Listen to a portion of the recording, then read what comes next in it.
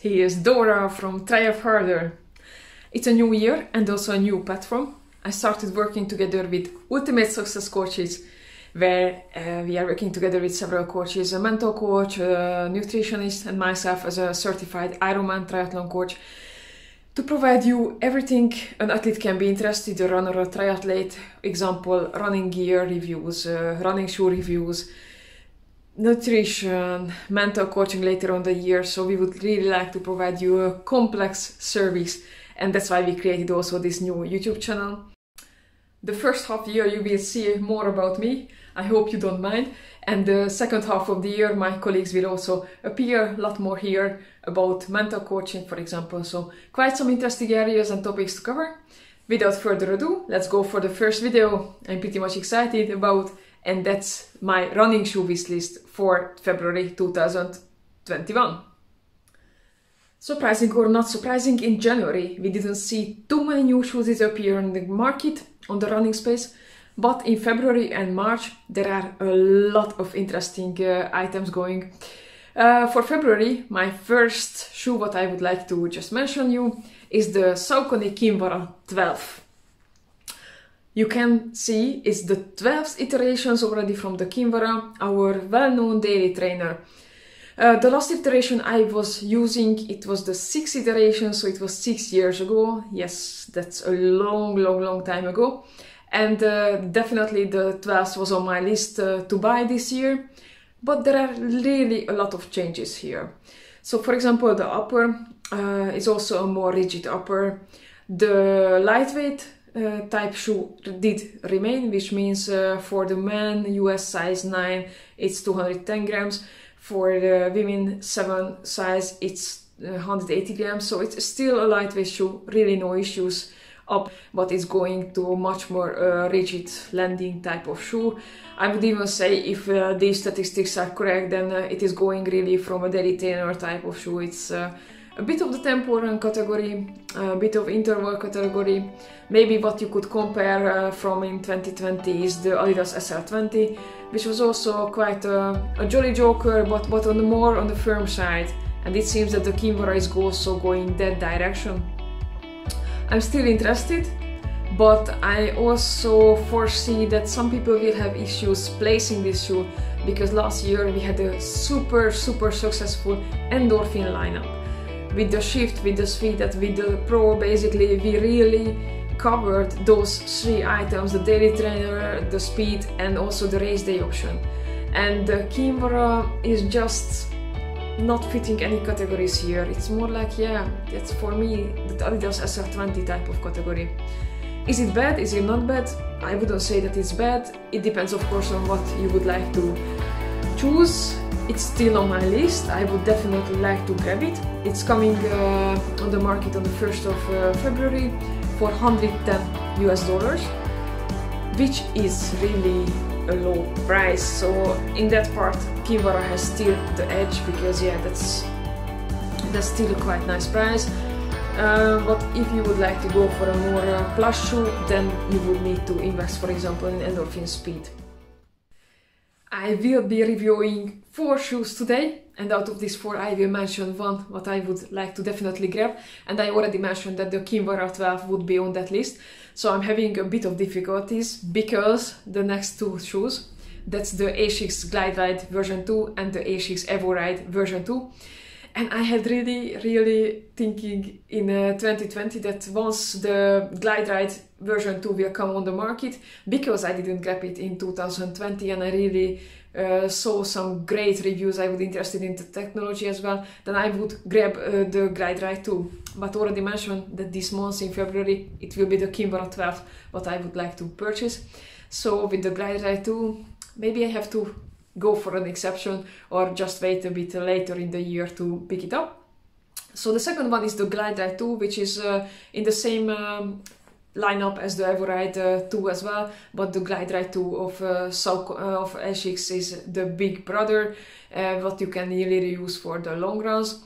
I'm just checking some stats. Yeah, the women um, the women weight is 250 grams and the men's weight is 325 grams. So that's a heavy shoe. absolutely. Even if you are using for the long runs, it's on the heavy side. Uh, but what helps here really is is it it's a firm ride, so it's not a plush plush one, it's not a Hoka, for example. It's also not an endorphin speed. But that uh, rocker technology of ASICS is really helping you. Also in the Glide Ride there is a reinforced plate, meaning from the midfoot until the toes, you will have that like a rock chair style. So yeah, you are going in your uh, strike and it is like two spring for you. So it's really helping with your uh, steps. I'm absolutely interested to try it. It's also coming on the market on the 5th of February for 150 US dollars. Most likely it will mean 150 euros because it's usually the same price here in Europe as well. Interested, interested, definitely interested. Though my preference usually for the long runs is a bit softer midsole so I have to see how it will work out. Uh, on the outsole, they had also some improvements, though in general the shoe was not changing too much from the first iteration. On the outsole, they added some um, ASICS High Abrasion Rubber Plus to get some more grip there, because uh, previously it was a, a one uh, piece uh, carbon rubber on the outsole. So interested on that as well, absolutely. Uh, my recent ASICS purchase was the Nova Blast, which I really, really love from 2020 but there one uh, downside for me was really the outsole so i'm interested how it will work on the glide ride 2. The third shoe of this review is the Evo Ride version 2 yes it's a smaller little brother of that of that ride 2 uh, using very similar technology though no uh, reinforced plate here uh, the stack height is the same for the man is 21 in the forefoot and 26 in the heels, meaning a 5 millimeter drop. On the weight specifics, again, I'm cheating a little bit. So for the man, uh, size 9 is 250 grams, and for the women, size 7 US, it's 190 grams.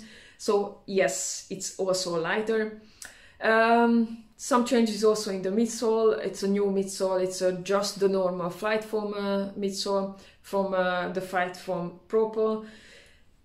Interesting to test. I don't know how it will feel on the feet, but this is also a firm landing shoe, meaning that uh, most likely you can use this shoe as a firm daily trainer or most on basically those uh, yeah those tempo runs as well. And last but not least, let's go for the Adidas. You know that I had quite some uh, trials from last year on the Adidas. I will just put some links up there. And uh, I'm interested in trying the new Adidas shoe as well in this year. Let's see whether I will uh, purchase it or not. And that's the Ultra Boost 21. Yes, they had quite some upgrades here. There is more boost. Can it be that there is even more boost? I'm not sure, but they say that there is even more boost here. Uh, also the stack height did change, it's 20mm in the forefoot and 30mm in the heels, meaning a 10mm drop. On the weight part, it's crazy, again a cheat sheet, 340 grams for man. 340 grams. Okay. Um, Is saying now that they are really moving from a sneaker direction to a real running shoe direction. Now the 340 grams is not really helping and even that more boost, yeah. But also the torsion system did change, meaning that they are expecting 15% better energy return and more responsivity.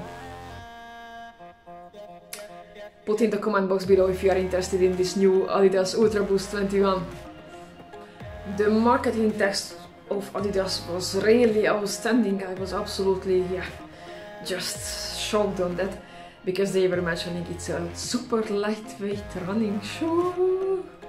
I don't know if they yet checked out uh, some of the other shoe companies because yeah, it's everything but lightweight. Uh, on the upper they are using Primeknit and it's also Prime Blue. You can uh, know this uh, green direction of Adidas. It does. It also means that they are not uh, using any new uh, plastics in it. It's only uh, reused plastic. So if you would like to also take into account your nature and your surroundings, then I can recommend this. I really like this shoe and I'm interested. Maybe later in the year I would purchase definitely not in February because the original price of the shoe is coming up with 180 US dollars meaning also 180 euros.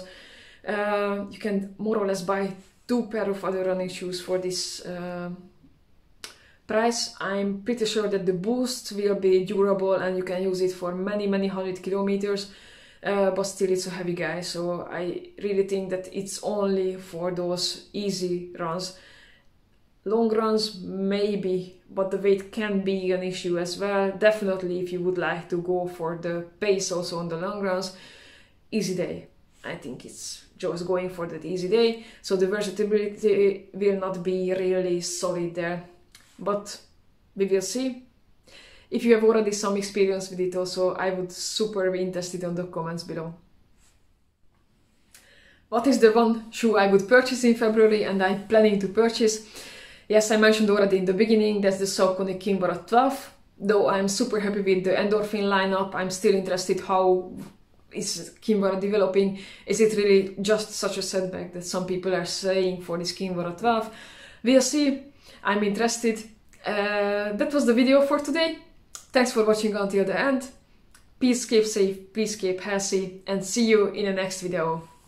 Bye!